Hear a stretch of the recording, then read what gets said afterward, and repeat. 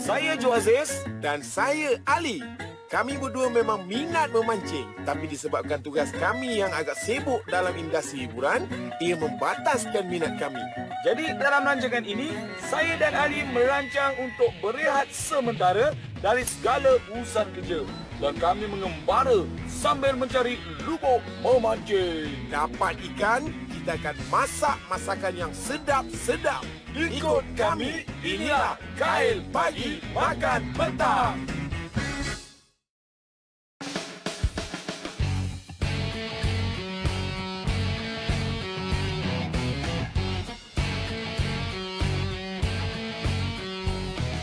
Episod kali ni lah kan, kita nak meredah ke mana pula Jo? Apa kata kalau kita pergi tempat yang dekat-dekat, Ha? tapi ikan banyak? Uish, menarik tu. Kita pergi Kelang. Aku dengar-dengar cerita lah. Ha. Orang cakap kat sana memang banyak ah, kawasan-kawasan yang sesuai untuk kita pancing. Ah, macam tu marilah kita. Let's go! Kepada yang tak tahu, Kelang adalah merupakan bandar diraja bagi negeri Selangor. Kalau ikut sejarah, penubuhan Kelang adalah lebih awal daripada penubuhan Melaka. Macam biasa, kami ke Kelang bukan nak mencari sejarah, tapi kami nak cari lubuk memancing. Ya, inilah dia Jo. Sekarang ni Jo, kita berada di tengah-tengah Bandar Kelang, Bandar Diraja. Yang ni sungai dia ya? Inilah yang dipanggil Sungai Kelang. Yang paling besar sini ya eh? Ah, tapi Sungai Kelang ni bukan pot yang kita nak mancing. Oh. Ah, kita sebenarnya nak pergi ke arah-arah laut, laut. laut, laut. Kan? Tapi kau tahu banyak info pasal Kelang eh? Aku sebenarnya anak jati Selangor. Oh, lupa Wah, dia, betul, betul, betul, kalau betul. aku taurin ni, taurin ni. Selangor. Selangor, Selangor, Selangor, Selangor, Selangor. Darah Selangor. Darah Selangor. Oh, baik. Apa lagi kita? Menuju ke tempat yang uh, pot-pot yang Ada lebih baik di laut. Yes, jadi Let's apa lagi? go! Untuk memancing, kami menghala ke Kampung Delik yang terletak tak jauh dari Bandar Kelang. Katanya di Kampung Delik ada pengkalan nelayan. Jalan punya jalan, terjumpa pula satu kolam pancing berdekatan pengkalan. Apa lagi, kita pergi Usha lah dulu. Ini nak, nak Kampung Delik Fishing Park. Tapi kita takkan nak mancing kat sini kan. Kita mana ada modal. Hmm. Nampak tu. Hmm. Kan. Tengok je, kita tengok apa pula diorang dapat kat dalam. Kita tengok jom. Kalau mana pemancing-pemancing yang kat luar sana, yang mabuk laut ke apa semua, ha, ni tempat dia. Kolam. Kolam air masin, ikan pun fresh-fresh, ikan jenaha, ikan kerapu, ikan siakap, semua ada kat sini. Yang penting, pucuk pangkalnya, ongkosnya, gitu kan. Abang ni dapat jenahak. Tapi tak boleh lah minta. Ini adalah spesies ikan jenahak tau. Lebih kan dekat 2 kilo ada ni. Ini masak asam pedas. Mantap, mantap. Kau pakai tahu ni? Eh, abang tu bagi, abang tu dia dah, dah lengur. Baik. Bila dah lengur, aku ganti. Kan? Habis kau dapat ikan? Kita punya. Ha? Kalau dapat, dia punya lah. Bukan kita punya. Bukan. Okay, baling yang baling satu eh, baling satu. Lama nak mancing ni. Kita dah try kan. Kita pulang balik lah kat abang tu kan. Kita mancing sana lah. Ni saja-saja try. Mana dah tahu kena. Okey lah. Jom bang. Ah, jom, jom, jom, jom, jom. Okey bang, servis bertukar tangan. Kalau nak naik penggalan kat sini kat mana bang? Jeti dia bang. eh? Jeti-jeti untuk Jeti. mancing-mancing laut. Jeti ni banyak dekat apa ni Di air ni pun ada Sungai Ujang pun ada Oh, dekat-dekat sini je lah. Dekat ni Oh, oh yelah aku dah nampak laut dah tu. Belakang ni tak jauh. Tempat kita punya. Faham? Dah puas tengok orang dapat ikan, giliran kami pula nak pergi memancing. Kami terus ke pengkalan nelayan yang terletak bersebelahan kolam pancing. Nasib kami memang baik sebab dapat berjumpa dengan Pak Ali yang kebetulan nak keluar pergi memancing. Kalau nak turun macam kita orang nak tumpang Kita ikut. tumpang naik kan. Kalau boleh lah. Mabuk ke ni Eh, tengok, tengok orang, nak tengok Tak, orang. tak Tak ada, tak. mabuk. Dah, tak, tak mabuk. Mabuk campak ke laut Saya, saya tak mabuk. Tak mabuk cuma cuma tak tak payah je ni. payah je. Boleh Ah, eh bo- boleh eh bo- boleh. Okey no problem Ah, tadi pergi kat jeti belakang tu, jumpalah seorang nelayan tu. Paling juga dia, serupa nama dengan saya. Mulai daripada sekarang kalau kita nak mancing, Jo, Ha. jangan panggil aku Ali. Takut dia terasa. Habis apa yang Kau musa? panggil aku Musa? Ijam. Hijam tak, tak kena dengan muka hijam. Tak kena lah, aku tidak. Pak Ali tu kita panggil Ijam. Jadi kita nak siap mau mancing, kita umpak lah dia. Manalah tahu kan. Orang nak tumpang, rezeki jangan ditolak, maut jangan dicari. Ah gitu. Ikut kata Pak Ali, dia nak pergi memancing dan merawai ikan di sekitar perairan Pulau Ketam yang terletak tak jauh dari pengkalan. Inilah pertama kali kami berdua nak cuba teknik merawai. Katanya peluang nak dapat ikan mega menggunakan teknik merawai agak cerah. Tapi sebelum itu, kita memancinglah dulu. Ha, ni, kita ada pumpun uh, sarung. Ha, tapi dah dikeluarkan. Ha, jadilah macam ni. lah. Tengok ah, memang geli. Tapi inilah sebenarnya pencetus nak dapat ikan yang A, A. Ni lah umpan dia. Ni, ni, ni, ni. ni. Balingan pertama. Eh, kembali dulu ya. Ikan siakap, ikan senohong. Jelama ikan duri. Bercakap bohong, Oi. dah besar mencuri. Ha. Ah, boleh jadi. ikan Ah, duri, ikan duri. Jom macam biasalah. Ikan asin ni ikan duri. Ha. Saya belum sempat lagi. Dia dah. Mudah rabas. Mudah rabas. Ah, lagi nampak. Ah, nangis-nangis tu. Berarti ikan kat bawah ni banyak. Cuma tak tahu ikan apa yang banyak kat bawah tu. Dia turun lah pancing kan. Kok mana tahu uh, siakap senor gelama ikan duri. Tadi dah dapat ikan duri. Lepas ni dapat gelama. Petang sikit pun Lama pun lama. Lauk, lauk. Janji lauk, janji kau. Kita bukan nak pergi yang dapat ikan nak pilih. Tapi kalau dia bagi ikan besar, kirakan Alhamdulillah. Macam gini, ikan lama kita boleh ambil. Dude, oi, tengok. Inilah yang dikatakan jackpot. Spesies mantap jackpot. Ulama. Satu kali dua. Ini mesti orang tengah bergaduh di saya pancing. Duri kita lepas balik. Lama ni, kita boleh ambil. Uh, pesta, pesta, Pesta, pesta. pesta, pesta, pesta. Ni permulaan yang baik. Kejap lagi, dia sap. Yang saiz bawah ni lagi saiz besar-besar. Kena sabar, mancing kena sabar. Hasil memancing kami agak lumayan juga. Dapatlah beberapa ekor ikan gelama dan ikan duri yang cukup sesuai dibuat lauk. Cuma rezeki untuk dapat ikan mega je yang tak ada. Kita nak pergi sambung cari umpan kita. Pancing kita simpan dulu. Sebab lepas kita merawai, baru kita sambung balik kita punya mancing. Hasil setakat ni marvelous. Memuaskan sebab apa? Ikan-ikan laut yang kita cari dah dah dah dah, dah, dah dapat dah. Cuma kita nak cari yang extra size. Berarti ikan yang melebihi satu kilo ke atas.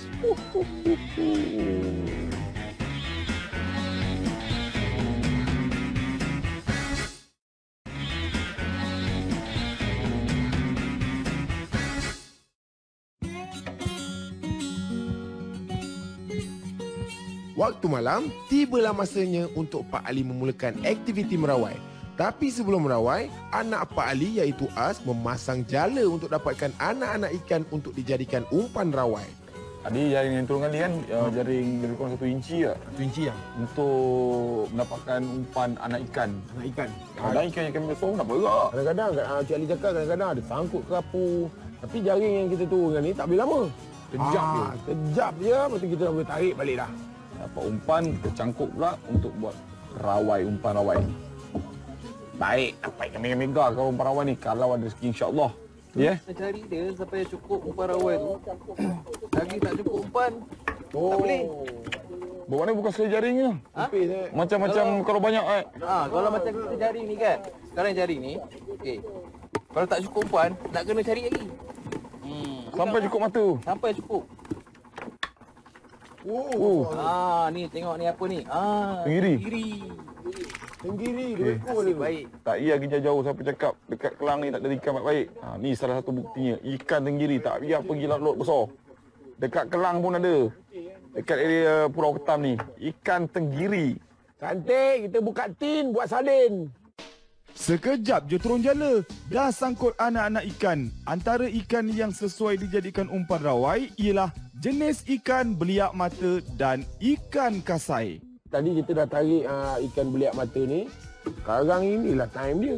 Kita nak pasang pula umpan ni dekat mata rawai ni. Ha, tapi nak masangnya bukan senang. Nak kena ada teknik, nak kena kepakaran. Kalau tidak bergulung-gulung tali tu. Betul je ya? Ha, macam tu teknik dia. Masuk kat kepala, ceduk badan sikit. Kalau kata 300 mata, 300 ekor lah ikan yang kita kena pasang. Ha, kalau nak pasang 10 je, 300 mata dapat 10 ekor pasang, lupakan dek, lupakan.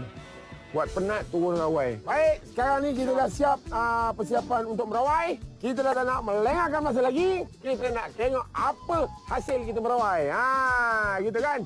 Jadi apa lagi jom kita pergi merawai. Merawai, merawai. Let's go!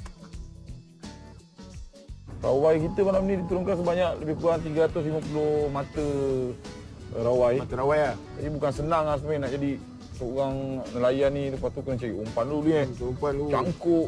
Aduh, susunan nak kena nak kena nak kena tahu. Kena teliti lah benda ni. Kena Teliti teliti. Turun satu-satu, nak naik pun satu-satu. Teknik tu pengalaman tu penting kan. Jadi kita layan abang ni turun dulu. Kita tak boleh nak bantu sebab kita tak tahu teknik. Teknik. Kita, kita, kita, kita perhati ke dia. Antara tunggu rawai tu, kita try pancing pula. Ah, sebab rawai tak boleh kena tunggu juga masa kan. Lebih kurang sejam, dua jam kan. Sementara kita nak tunggu tu eh. Kita try Kita dulu. mancing eh. Gunakan ikan-ikan melen-melen ni. Ada udang lagi, ada umpun-umpun. Try. Pusingan kedua memancing sementara tunggu nak tarik rawai, dapat juga kami beberapa ekor ikan lagi.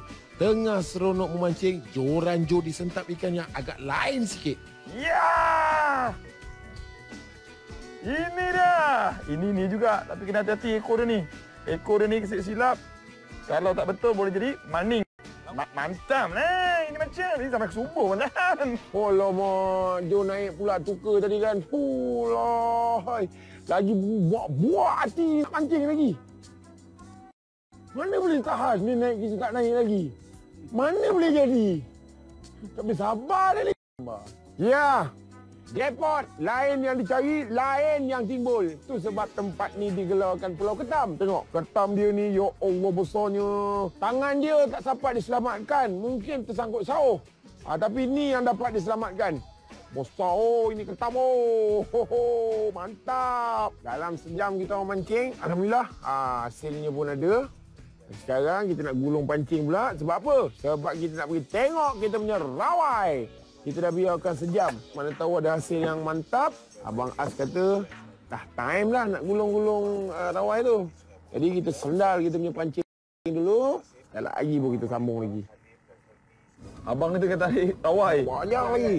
Jauh lagi perjalanan kita.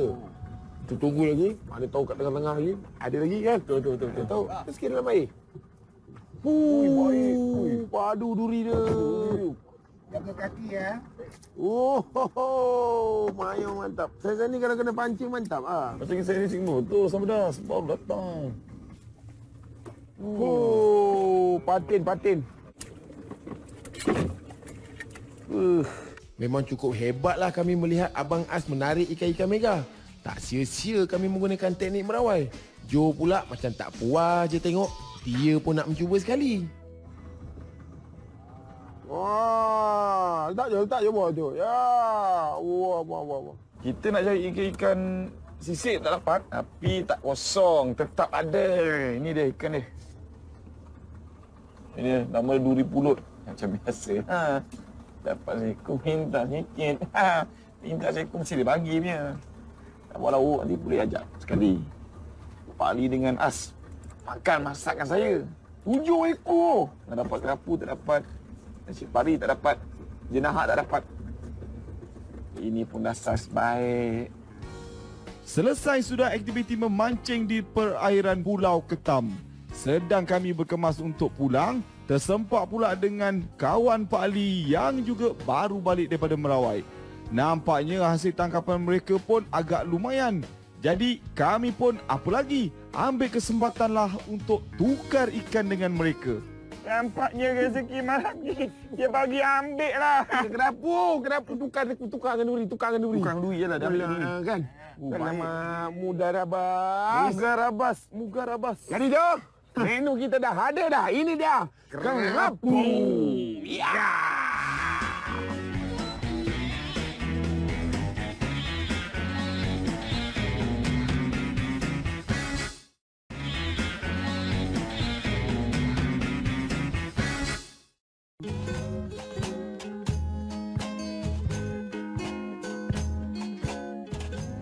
Seperti biasa, sebelum memasak, kami singgah di kedai untuk membeli bahan keperluan.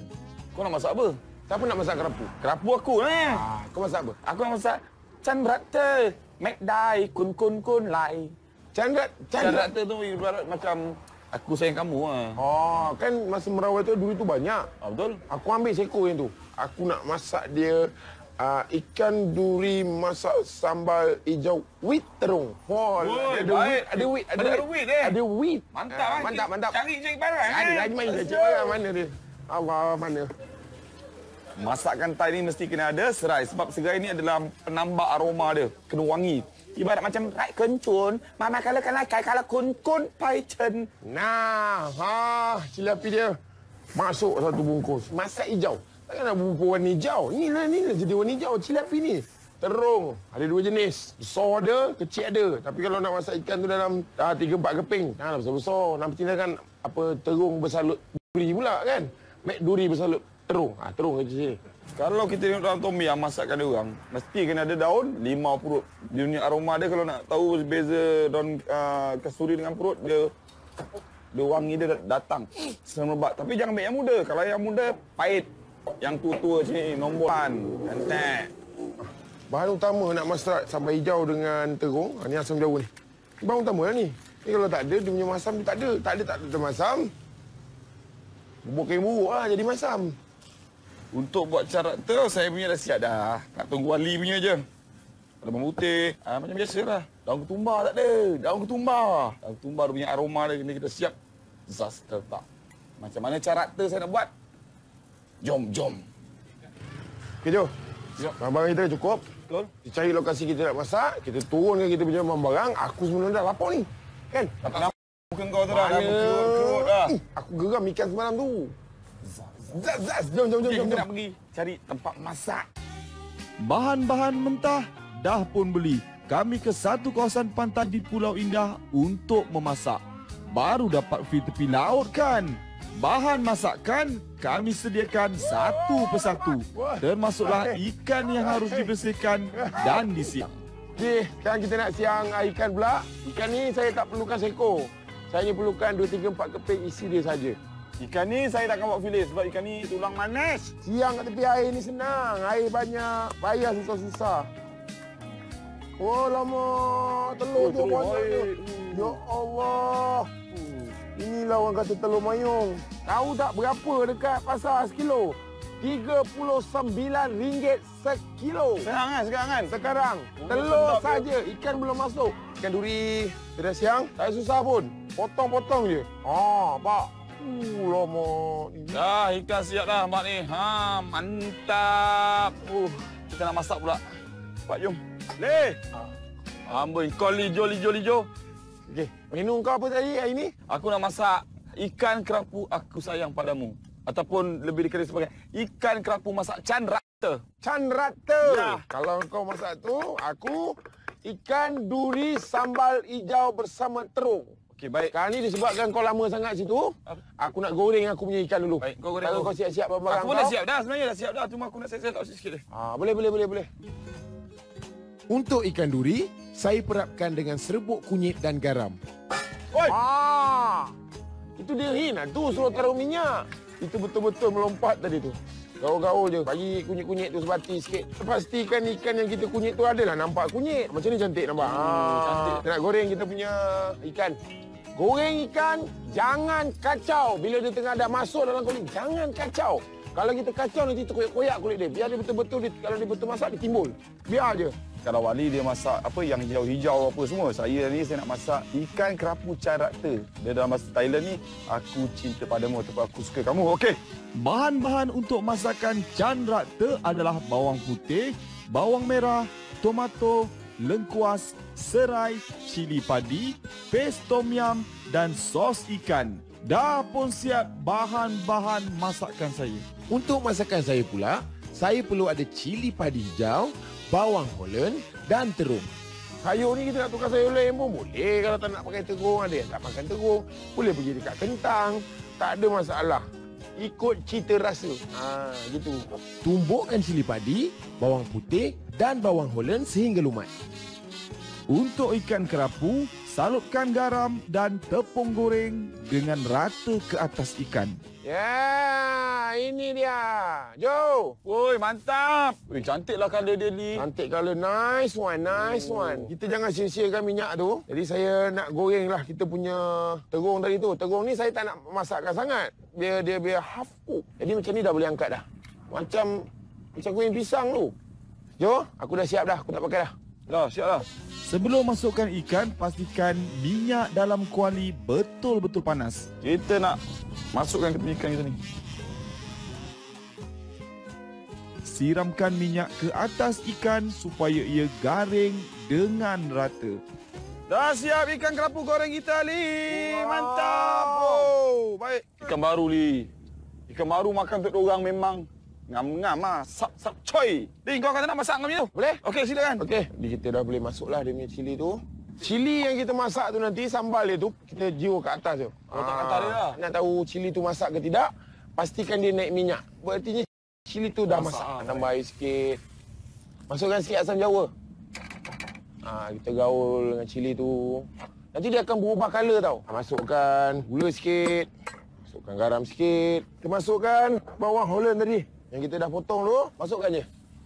Ah, macam tu. Cili dah masak. Kita tabur je atas ikan ni. Siap. Inilah Wow, menu ah, Oh, menu tu.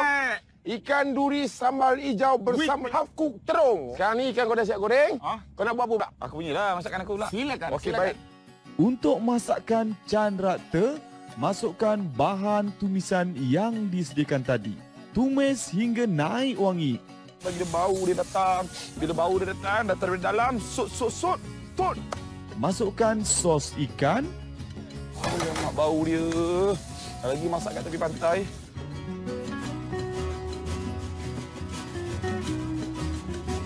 kemudian masukkan base tom yum. Masak sehingga sebati dengan sayur. Masukkan garam dan gula. Selepas itu, masukkan sedikit jus limau Kan kita kan kat dekat, dekat macam ala-ala Thailand. Kita kena nyanyi lagu Thailand. Du du du du deram. Tang tang tang tang tang tang tang. Ding net chai dat chai net chai dai. Ran tang tang tang tang tang. Du du du du. sos can rata dah pun siap. Ah, kat rumah tu apa lagi? Mandi kan dia. Mandi kan dia?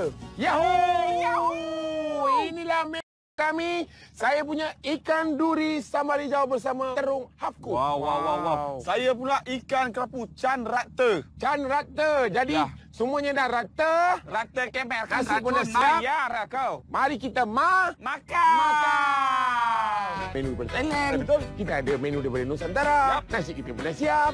Apa lagi tunggulah. Cuma sendu nasi tak ada. Ah, ni ada ada boleh. Hui, dapat kasar makan pun kasar eh.